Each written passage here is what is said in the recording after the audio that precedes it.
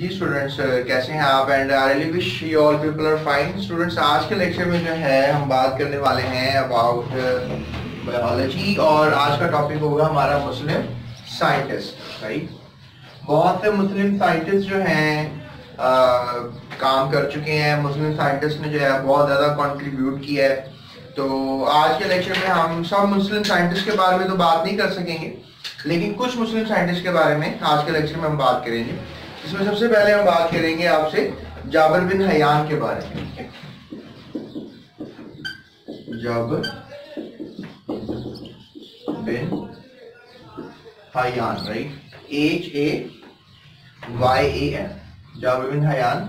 ये तकरीबन आप कह लें कि सात सौ इक्कीस में जो है, आज से काफ़ी अर्सा पहले, सात सौ इक्कीस में ये पैदा हुआ और तकरीबन 815 में जो है, इनका इंतकाल हुआ।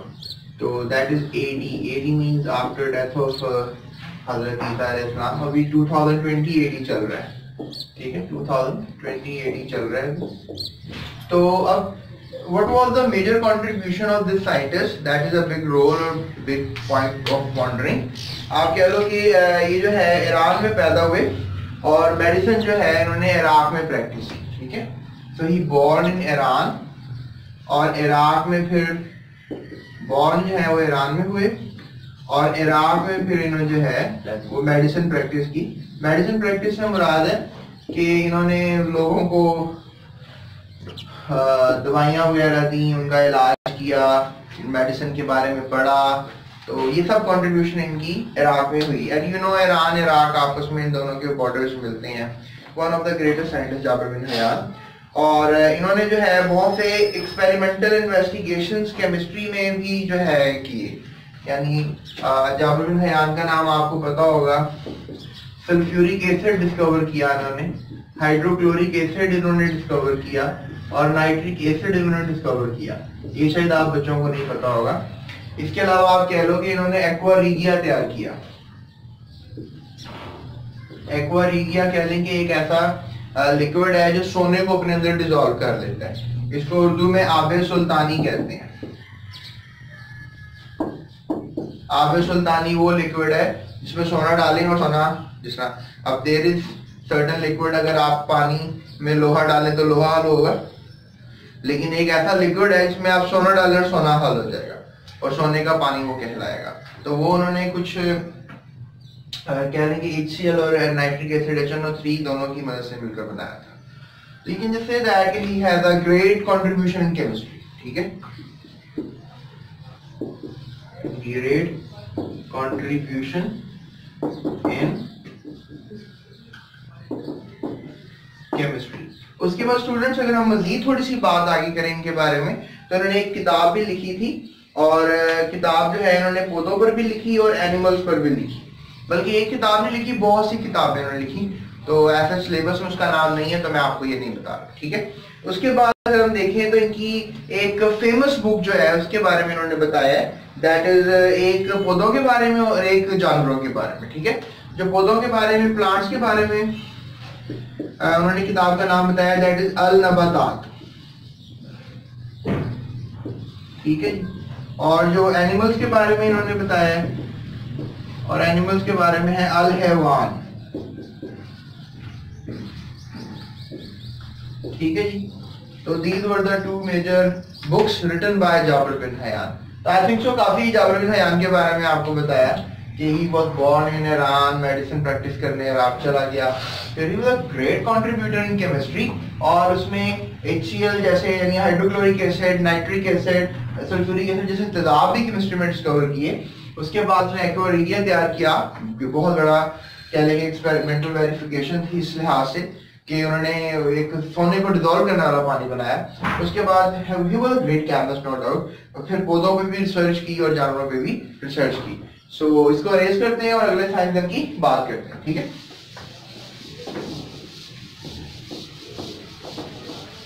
सो so, अगर हम अगले साइंसदान की तरफ़ चलें तो नेक्स्ट साइंसदान है अब Abdul Malak Asmai. Abdul Malak Asmai Abdul Malik Asmai का मे भी आपने आज से पहले कभी नाम ना सुना हो। इवन जाबिर बिन हयान तो एक कंट्रीब्यूटर था इसका नाम। ये थोड़ा सा कह लें कि जावरिन हयान के बाद पैदा हुए राइट ये 740 में ये पैदा हुए आफ्टर डेथ ऑफ़ हज़रत इस्लाम और इनकी डेथ हुई एट ट्वेंटी एट में, ठीक है? ये तो इनको आप थोड़ा सा याद रखें। उसके बाद अगर मैं मजीद आपसे बात करूँ अबाउट अब्दुल मलिक असमाई इसको कहा जाता है कि ये पहला मुस्लिम साइंसदान है जिसने एनिमल्स को डिटेल में स्टडी किया। यानी कि अब्दुल मलिक इस्माई ने जो है he studied animals in detail यानी डिटेल से मुराद है कि बड़ी तफसील से जानवरों के बारे में स्टडी किया। अब देखो, जानवर, अब आप सोच रहे हो जानवर तो इंसान इंसान जानवर नहीं है, इंसान तो शुफुल मखलूक में है।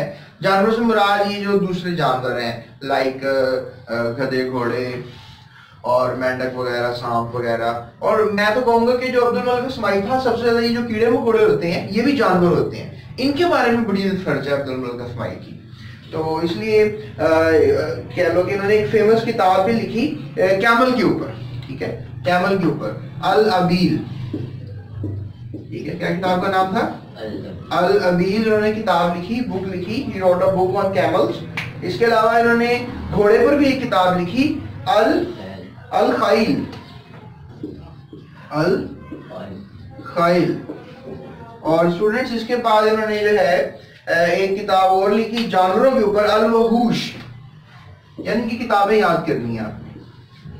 अल वहूश तो ये तीन किताबें जो हैं आपको भी मैंने थोड़ी देर पहले जाबर में किताबों के नाम बताए थे अल नबातात और अल हैवान और यहाँ पे भी मैंने आपको बताया है अल अबील ठीक है अल खईल और अल वहूश अबील किसके बारे में थी? कैमल्स के बारे में थी ठीक है।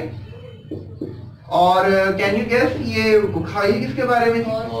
हॉर्स के बारे में थी। और इसके अलावा वहूश एनिमल्स के बारे में थी। तो आई होप कि जो लिसनर्स हैं उनको भी याद हो गया होगा ये। उसके बाद इंसानों में भी लिखी। ठीक है? अब्दुल मलिक ने इंसानों में किताब लिखी। खलकल इंसान किताब लिखी। ठीक है? खलकल इंसान।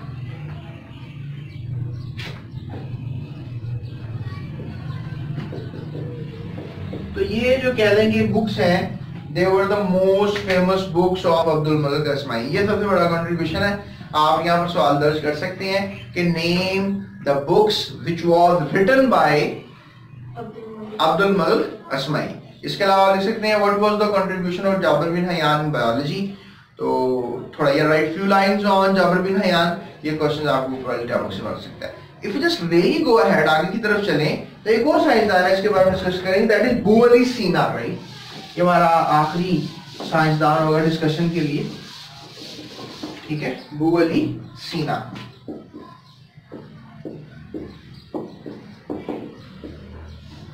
स्टूडेंट्स बू अली सीना जो है he was the greatest contributor of all times अब इसने क्या क्या किया इसके बारे में तो मैं आपको भी बताऊँगा राइट लेकिन सबसे अबाउट बू अली सीना तो बुअल सीना की क्या कंट्रीब्यूशन थी, ये तो आपने पढ़ना वैसे कुछ लाइनें लिखी हुई इतनी मुश्किल नहीं है, उनको भी आप स्टडी कर सकते हो।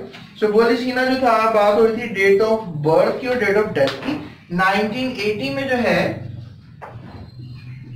आप कह लो ये साइंसदान जो था, वो पैदा हुआ और 1037 यानी आज से कुछ हज़ार साल पहले लगभग। ये साइंसदान जो था इंतकाल कर गया। यानी देखें आज से हज़ार साल पहले भी लोग कितना कंट्रीब्यूट कर रहे थे और आज आप लोग कुछ इतना खास कंट्रीब्यूट नहीं कर रहे दैट इज़ सो सैड और आई होप आप भी कुछ कुछ खास करें। मैं भी कुछ कोशिश में लगा हूँ मैं भी कोशिश कर रहा हूँ। उसके बाद if you just talk about this scientist Bu Ali Sina कह लीजिए बहुत बड़ा कॉन्ट्रीब्यूट था। फाउंडर ऑफ़ मेडिसिन था। ठीक है? फाउंडर ऑफ़ मेडिसिन का क्या मतलब है? कि इसने बहुत ही मेडिसिन दरियाफ्त की थी। ठीक है? फाउंडर ऑफ़ मेडिसिन और वेस्ट में इसी कंट्रीब्यूशन की वजह से मतलब इसकी मेडिसिन की दरियाफ्तों की वजह से इसको क्या नाम दिया जाता है? एविसीना राइट एविसीना इसको लोग मतलब साइंस वेस्ट के लोग इसको एविसीना के नाम से जानते हैं। ठीक है? एवी सीना और इसमें डबल एन आएगा। सो एविसीना के नाम से जो है बहुत से वेस्टर्न पीपल भूली सीना को जानते हैं। मतलब भूली सीना का इकट्ठा नाम उन्होंने एविसीना रखा हुआ है। और देर जाएँगे ये एक इंग्लिश मैन था या उन्हीं का कोई कॉन्ट्रीब्यूटर था। हालाँकि ये गलत है ये एक मुसलमान साइंसदान था बरसगीर से शायद इसका ताल्लुक था। सो so, लिखा तो नहीं हुआ ये कहाँ पैदा हुआ कैसे पैदा हुआ? और ये फिजिशियन था। फिजिशियन क्या होता है? पता ये बच्चों को पता नहीं होता। जो फिजिक्स पढ़ता है, उसको फिजिसिस्ट कहते हैं। ठीक है? और जो फिजिशियन होता है डॉक्टर को कहते हैं। जो मेडिसिन प्रैक्टिस कर रहा होता है मेडिसिन लिख के देता है, आपका जर्नल चेकअप करता है, आपकी कोई थोड़ी बहुत सर्जरी करता है। कल हम कैरियर्स इन बायोलॉजी में भी पढ़ रहे हैं फिजिशियन जो है you can call it doctor जो है, वो फिजिशियन होता है, अमूमन, ठीक है? और ये फिजिशियन था मतलब he was a general doctor हकीम कह लें आप इसको। तबीब कह लें और ये फिलोसोफर भी था। ठीक है? तो वो थी फिलोसोफर और इसके अलावा आप कह लो he was also known as astronomer और पोइट भी था। एस्ट्रोनॉमर कौन होता है? जो आसमान। की गैलेक्सीज सितारे वगैरह स्टडी करते हैं। और पोइट यानी शायराना मिजाज भी था बू अली सीना का। तो इसके अलावा इसको जो बहुत बड़ी चीज़ आपने याद रखनी, इसने भी किताब लिखी थी अल कानून फ़ी अल तिब ठीक है? अल कानून फ़ी अल तिब काफ़ी बड़ा नाम है किताब का।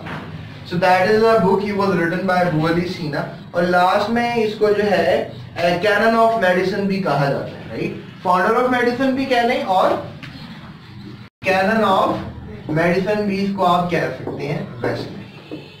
सो आई होप के मुस्लिम साइंटिस्ट के बारे में आपको काफ़ी समझ में आया होगा। सो आई होप के ये वीडियो आपके लिए हेल्पफुल साबित हुई होगी।